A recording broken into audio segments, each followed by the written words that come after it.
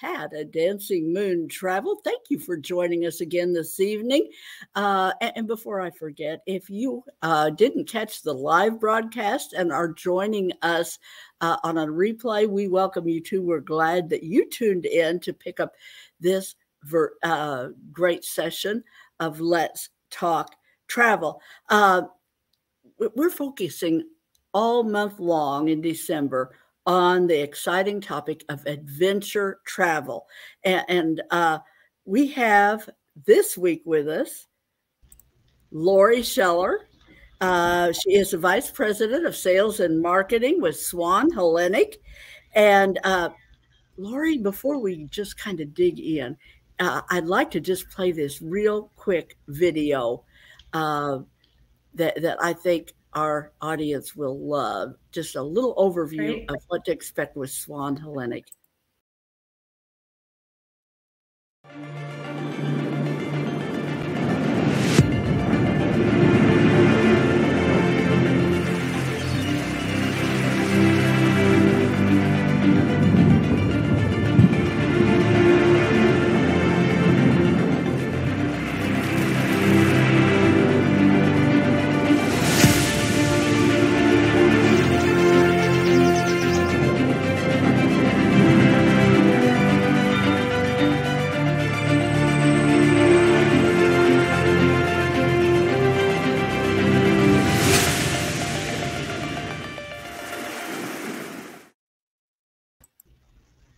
Now, Lori, if that doesn't want to make people go home and pack their bags, I don't know whatever would. Uh, and, and, I'm especially interested in chatting with you this evening because um, you're a new partner for us here at Dancing Moon yeah. Travel. And and I was I visited your booth. At, you know, I love going to Cruise World because I always find fabulous new partners that we want to work with. Uh, and and uh, before before we get on to too much about Swan Hellenic, can you just tell us a little bit about yourself and uh, how do you got it, how you got into travel and made your way to where you are today? Yeah, sure, Pat. Thank you so much for having me. I really appreciate um, you having me on the show, and I'm happy to be a partner now with you. Um, and it's it's a very exciting time here at Swan Hellenic. So I actually am originally from the Philadelphia area, and about 25 years ago, I moved to Florida, to the Fort Lauderdale area. And I kind of said, hey, I want to get involved in the cruise industry, you know, since we're in the cruise capital of the world. And I've always enjoyed travel. Um, so I started actually as on the agency side and worked 17 years really selling to you know consumers putting packages together most of them were based on cruises so i've worked with all of the various cruise lines in North America, um, you know, from from mass market to you know your Carnival to the luxury market.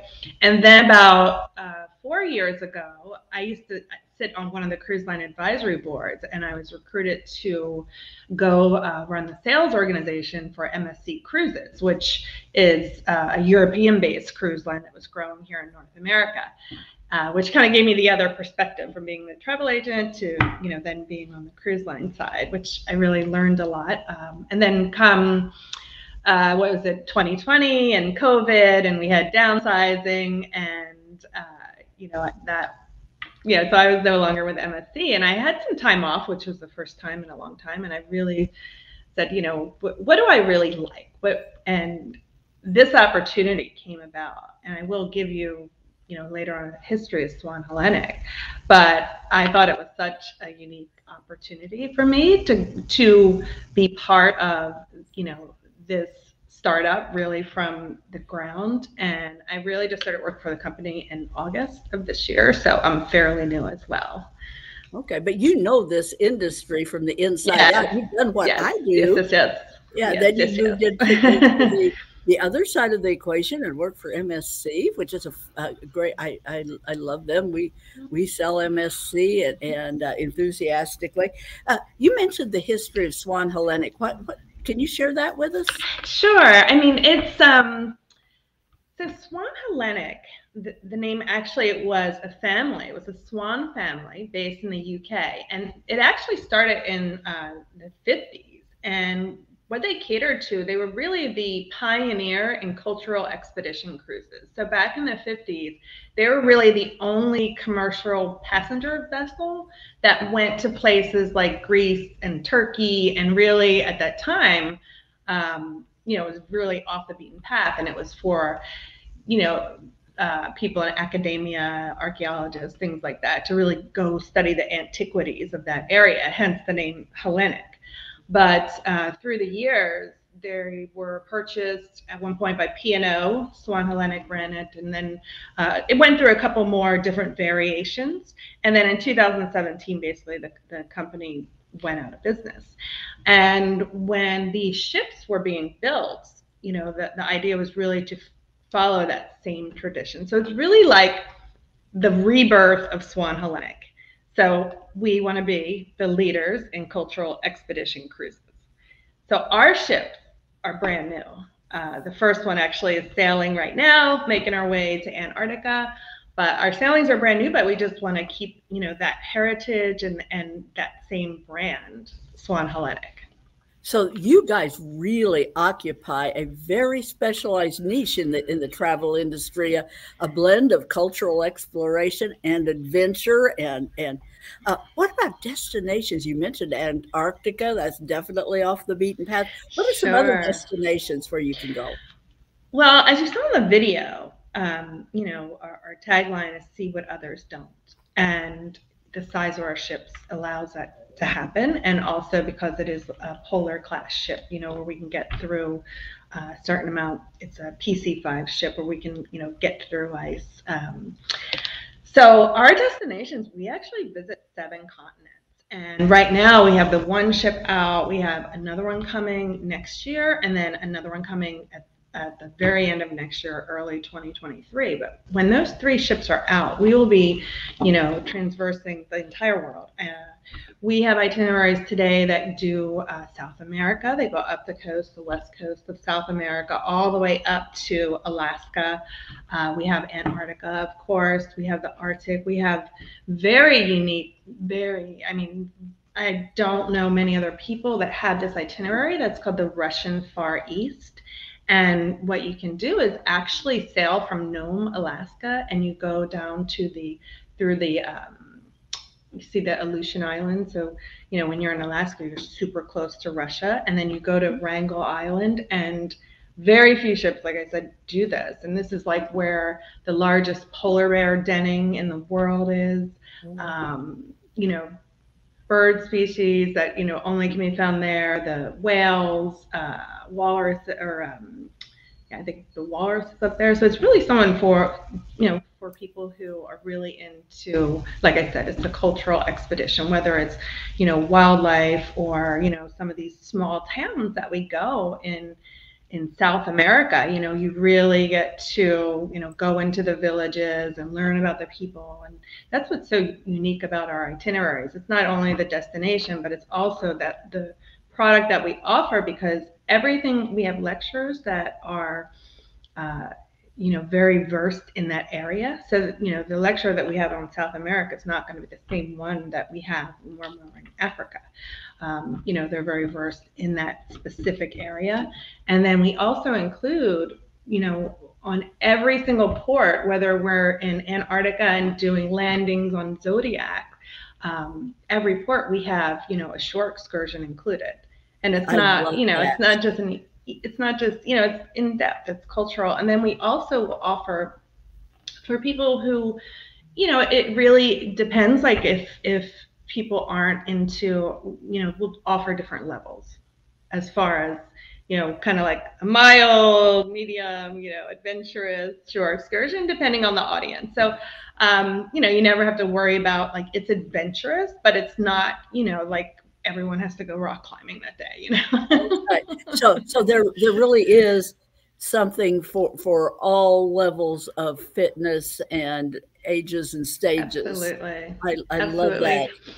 I mean, there is, you know, we, we do say, like for Antarctica, I mean, we do have, you know, kind of health guidelines because you do have to get on and off the Zodiac. Um, I mean, you don't have to, but that's really what it's all about. Yeah and you know also because some of these destinations are pretty remote um, so yeah but it is something for everyone. So, so uh, what about the onboard experience on, on your vessels? What what kind of accommodations and and uh, yeah. how many passengers are typically on board? So, I mean, this is the incredible. I, I think this is, uh, you know, something that you know we had talked about the ship is very intimate and the maximum the capacity on our first two ships coming out is 152 passengers.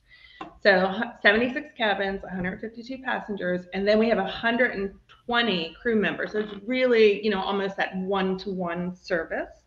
Wow. and also on board is going to be our uh, 12 uh, person expedition team. And so these are the people who are really experts, like for in Antarctica, for example, and will be taking small groups, you know, out for landings and, uh, you know, be able to be very versed in that area. Getting people with, so, with their feet so, on um, the ground there. Yeah.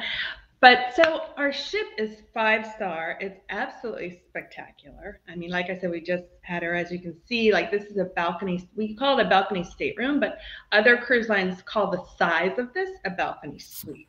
It's about 300 square feet.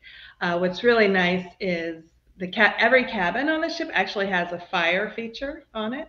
Uh, so it's like a, a, gas fireplace. That's so nice. Wow. And it really is five star, but we we tend to use the you know, stay away from the word luxury because this is an adventure. This is, I mean, it has all the amenities that you could say for luxury as far as, you know, the quality of the food, the linen, the, I mean, everything about it, the service, but um, it's also very casual. You so, know, it's not stuffy, and we never want to be in that, you know, where it's stuffy. It's not stuffy. right.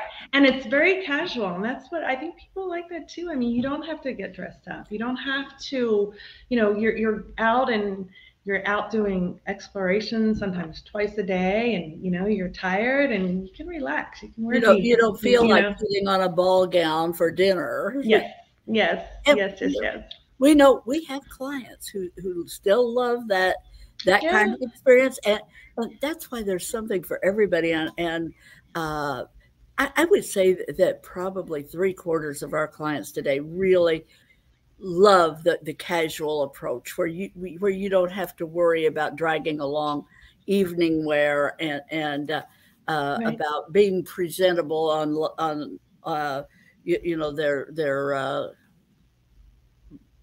dress up nights. You know, they they people yep. these days are, are just very they like the country club casual is yep. as dressy as most of them want to be. What about the food? Well, I, I do want to kind of back up a little bit because I. I think I want to make sure that everyone understands how inclusive our experience is as well.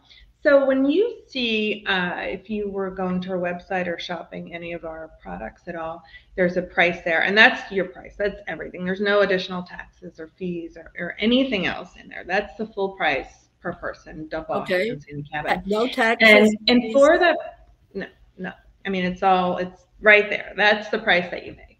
And in that price, for every single voyage, we provide a pre hotel night in a four or five star hotel. So basically, if you see nine nights, it's really 10 because you have that hotel night too. And, you know, when we also provide transfer. So, you know, you will submit to us what your airline, your travel information is. We will pick you up at the airport, bring you to the hotel. I mean, so you're pretty much taken care of from that moment that you land in, in the airport. We take you to the hotel. Uh, we have a hospitality desk there and then the next morning we'll do breakfast and then we transport you to the ship now some of these destinations because they're remote it includes a charter flight you know so for example many of our antarctica sailings start from ushuaia but the hotel night is in buenos aires and then we take you and we transport you we take you on our uh, chartered flight down to ushuaia and then you get on the ship so on board everything is included your shore excursions, your expeditions, your gratuities, um, your drinks, all your drinks. I mean, you can spend money and buy, you know, a bottle of Dom Perignon or something like that. But, you know, for the most part, all of your drinks, coffee, espresso, wine, uh, liquor, all of that's included, all your gratuities, like I said, all of the food on board. So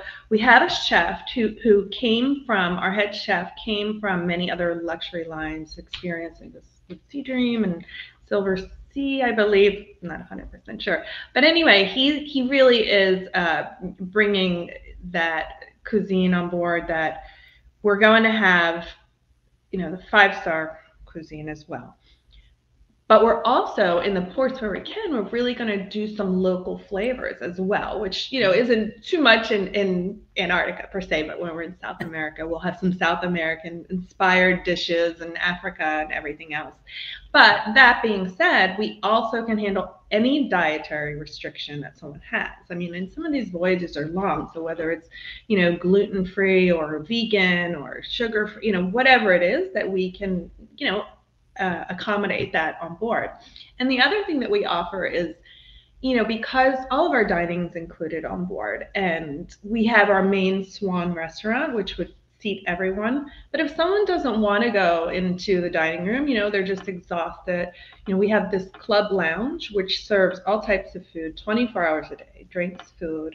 We always have um, during the day that the pool bar and grill, and then also 24 hour room service. So, you know, uh, I think it's something for everyone. And, and we also do have for those who want to stay active too, we do have a gym and spa on board. But that's really it, you know, and I think it's important to, to manage customers' expecta- expectations because just like you said, some people like to dress up. Some people like to have, you know, a casino and entertainment and everything. And we don't have that. I mean, our entertainment is the beautiful scenery, um, our, the guest lectures, you know, it's interacting with the other guests. And yes, we do have a lounge where we'll have a piano player and light music and things like that. But it's definitely not for those who are always looking for that excitement. Production show and casino is yes, not none, none of that. And, and you know, uh, the, and, and you know, folks, you can have both and. Maybe you want a vacation with all of the the uh, uh, big ship amenities, but uh, next time around you're looking for a Swan Hellenic yep. type approach where, where you're on an intimate ship exploring more distant destinations. And uh, I, I love, I love, before we move on, I love your inclusive model because our clients these days, they, they prefer to just pay what they're going to pay and get on board and not have a, a huge wow uh, yeah. barbell at the end of their experience. I, I so I love I, I salute you yeah. for having the oh, the the uh, gratuities. Everything is it's once you get on board, it is pretty much everything taken care of. So I love that. Yeah. Uh, I'd love to just delve into a few of your prime destinations because not everybody certainly takes clients to the Arctic and the Antarctic. Um, you you have a uh, an eight day itinerary to the Arctic that I think is. I, I mean, the Antarctic is, is, more popular. You have a lot more cruise lines doing that one, but the Arctic is really. Uh, it, it's kind of off the grid for most everybody else.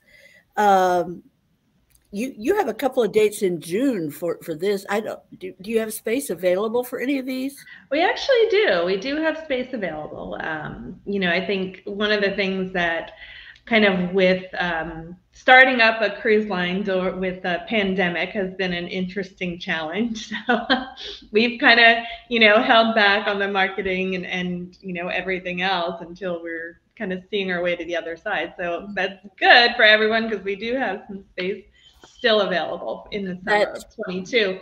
But um, very, I mean, this is uh, again, so this is seven nights on the ship, but actually where this starts. So we actually, you would fly to Oslo, and then that's where we your journey would begin. That's where the hotel night would be, and then we would fly you again on a flight to Longyearbyen, which is you know it's actually the northernmost town in the world so that's that's kind of interesting and then where are you going around again it's very much i mean this is where you're going to see uh, polar bears and uh, glaciers icebergs you know hopefully the arctic fox uh, walruses. I mean, this is all about the wildlife and the wow. scenery. I, I mean, and that. it's in the summer, you know, you're also you have to remember that you're daylight almost all all the entire day. You know, there's very little darkness, if any.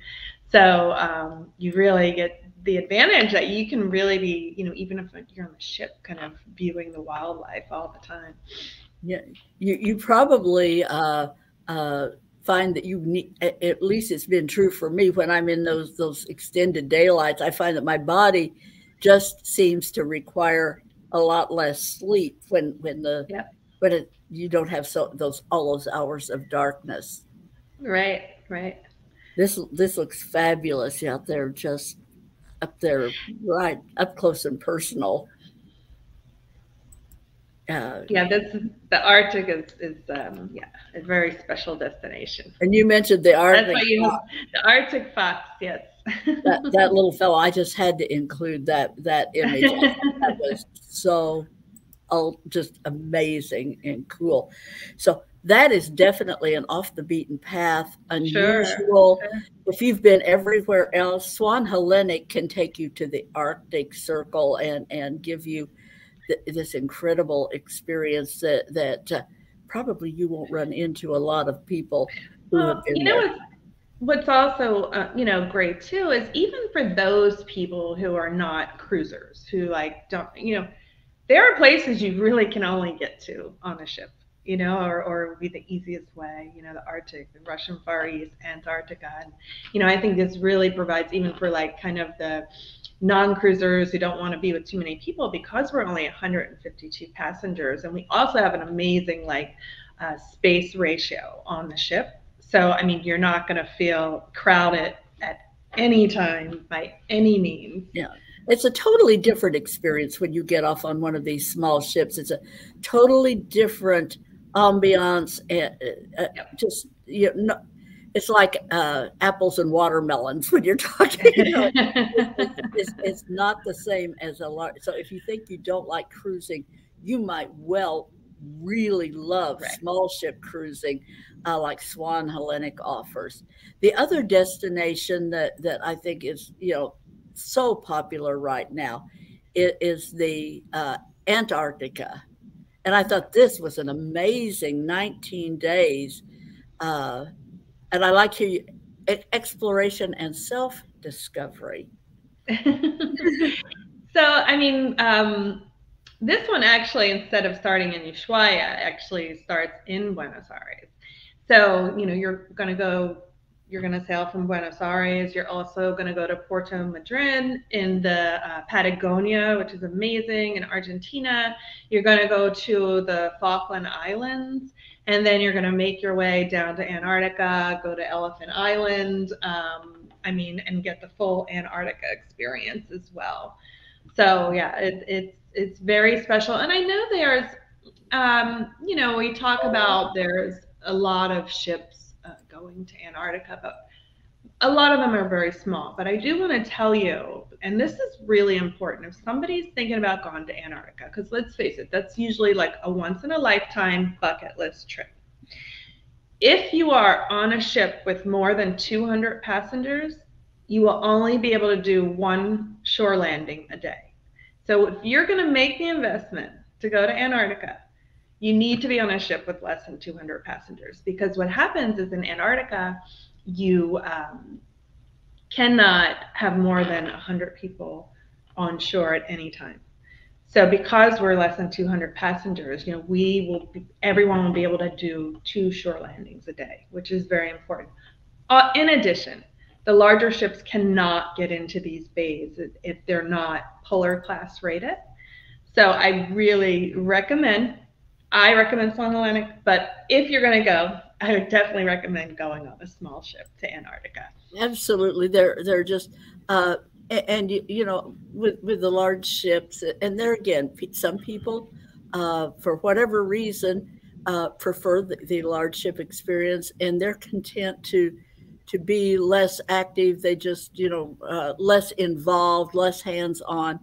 Um, so, but but uh, if you absolutely, Lori, if you want to be uh, have your feet on the ground and and, and be out there exploring, uh, seeing the, the incredible wildlife. Um, you, you, do need to be on one of the small vessels. And I mean, the other thing is, you know, Antarctica, you know, we don't know how long Antarctica, I mean, with ice melting, you know, what it's going to look like. I mean, and, you know, one of the other things that we really take seriously too is sustainability. So, you know, like where we're not dropping an anchor there. And we really, you know, I'm not saying that other uh, operators don't, but I mean, we really take care to make sure that, you know, we're leaving it the way that we found it that and that that is so important now we the cruise lines and i know the cruise industry as a whole is very very committed to mm-hmm. um, maintenance and and and keeping our ecology healthy and and uh, because uh, uh, just it's the right thing to do for one thing but but otherwise right. it also uh, you know the existence of the entire cruise industry uh, depends on on maintaining uh, the the oceans and the wildlife, uh, or, or they will cease to exist. Uh, right. So, so uh, I am I'm always glad to hear the uh, like you guys have have the are committed to that to maintaining proper procedures and so forth to make uh, Antarctica available and, and help it exist for, for generations to come, for uh, those behind us to enjoy as well. Uh, the other destination, Lori, that I wanted to touch on is very popular these days. A few, probably the last six years or so, people have really discovered Iceland, and it has become a very popular destination. Oh, you know, Lori, but I didn't. I want to take a minute. I want to go back uh, and just backtrack. I wanted to play this this this video clip of your Antarctica. I, will be doing uh, our our audience a disservice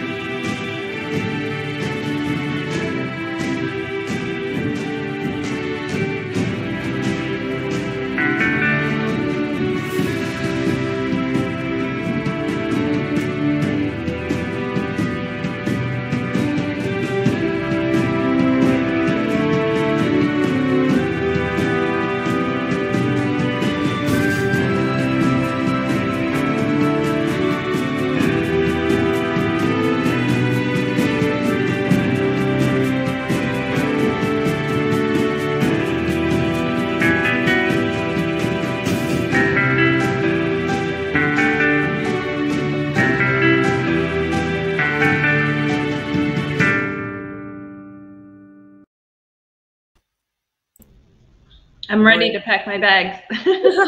I tell you that just boy, talk about inspiration. That's a great video. I, am sorry, folks. I just I just wanted to play that. I got ahead of myself here and was going on to Iceland, and it wasn't time yet because you. I just really wanted to include that. So back to Iceland here. Now we'll move on.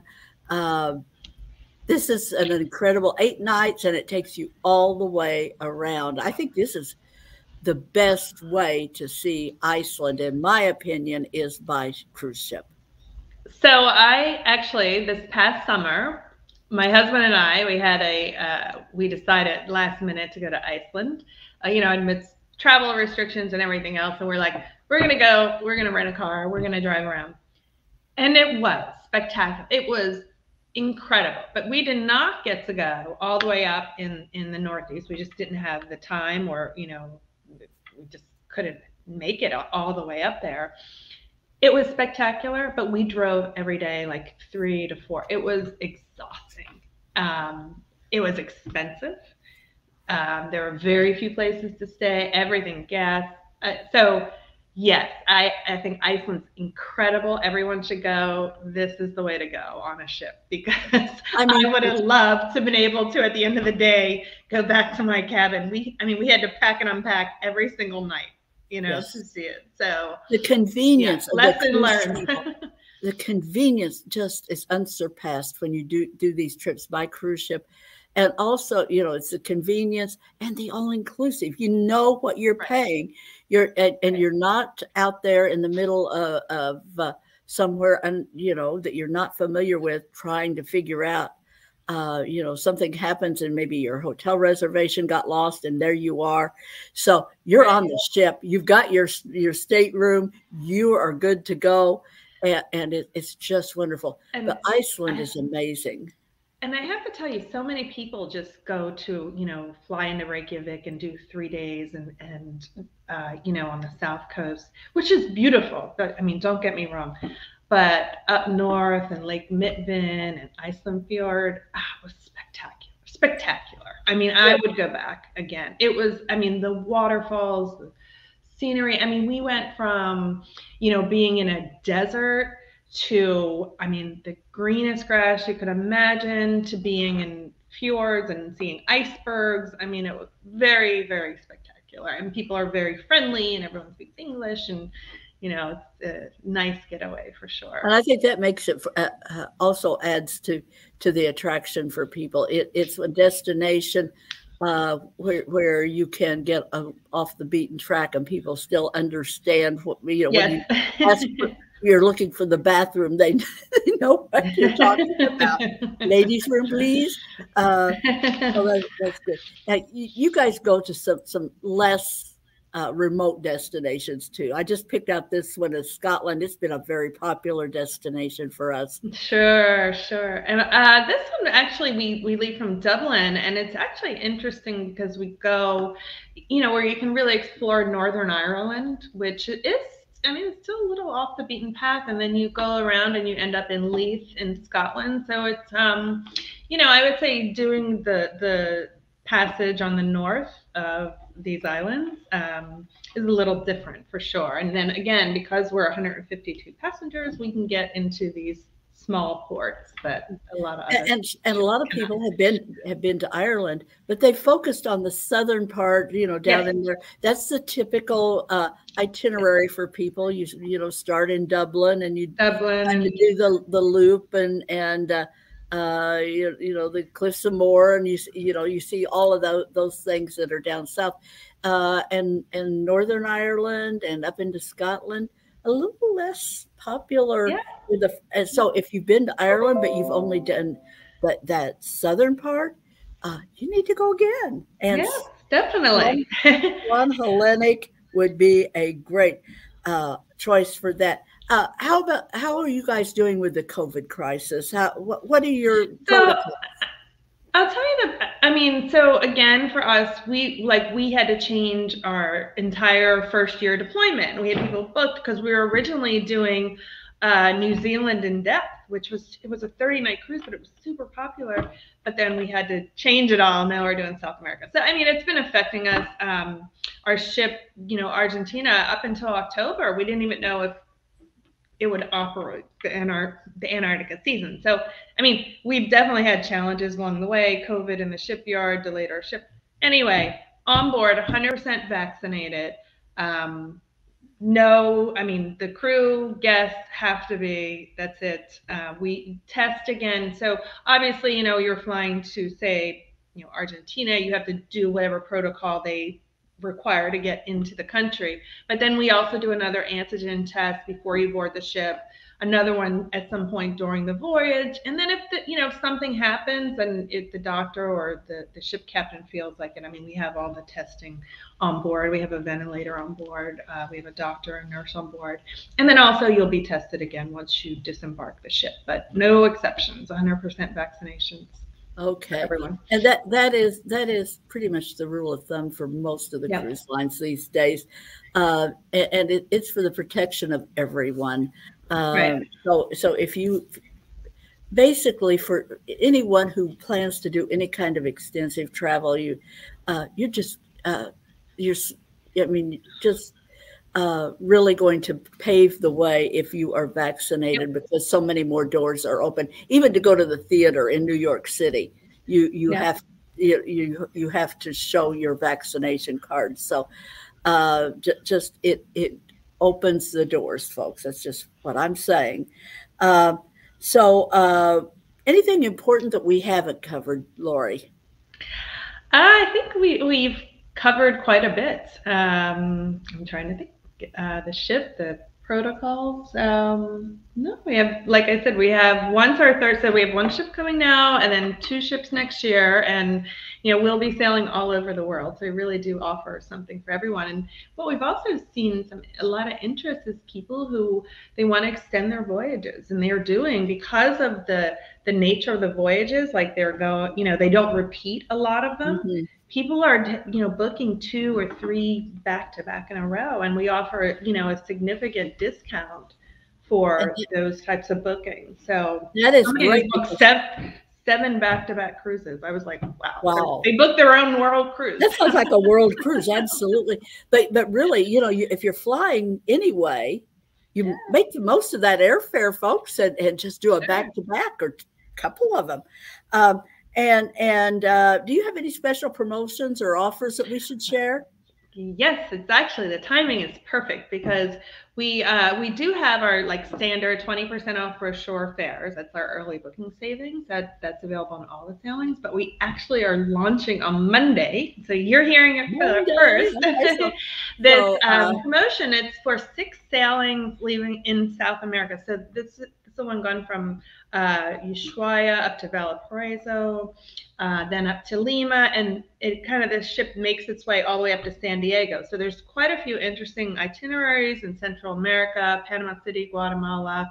Um, and we are launching its uh, the second passenger is half off and that's half off of our early booking savings so i mean it's really like a 45 percent discounts on those six sailings. And then we're also, um, you know, we offer for back to back an additional 10% savings. And what I wanted to tell you, I wanted to do for you, for anyone that you get to book, say by the end of December, I'll extend our past guest savings for all of your bookings, which is an oh, wow. so which is an additional five percent.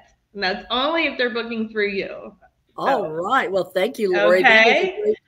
And we're which is significant. You know, when you talk about the price points, it is the significant savings. So that, I will. Is, I can send you uh, the the official promotion for South America if you'd like. But that would be wonderful. So, folks, if if you're interested in this, uh, just reach out to me. It's uh, it's very easy to get me, and and uh, you could just uh, for for information you could give me a call or email me saying go across the screen now uh, and i'll make sure that you get that link showing their promotions for right now and we will sweeten the deal. We are going to offer uh, uh, a dmt tote bag uh, and packing cubes to anybody who books swan hellenic during the month of December. So by December 31st, take advantage of their promotions and get a little something extra as well. And speaking of packing cubes, tonight I'm uh, uh, going to give away something, but not packing cubes. I uh, we are going to give away a pair of great binoculars, uh, and these would be fabulous for your trip with Swan Hellenic. You would not miss a single thing. Uh, and so now is the time. If you're watching live, live listeners only, enter the word Swan in the comments section, and I'll enter you in our drawing for some fabulous binoculars. And Lori, thank you so much for for being with us. I, I uh, I'm just so impressed by everything I've learned about about Swan Hellenic and and your product is absolutely fabulous on so many different levels. I know you've given our audience a lot to think about. Folks, I hope your time has been well spent with us this evening. We always want to inspire and encourage you. And uh, if you're an adventure traveler and appreciate cultural exploration incorporated into your adventures, uh, Swan Hellenic is a perfect fit for you. So thank you again, Lori, and so appreciate your being with us. And thank folks, you. we we will uh, see you again next week at Let's Talk Travel. Bye now. Thank you.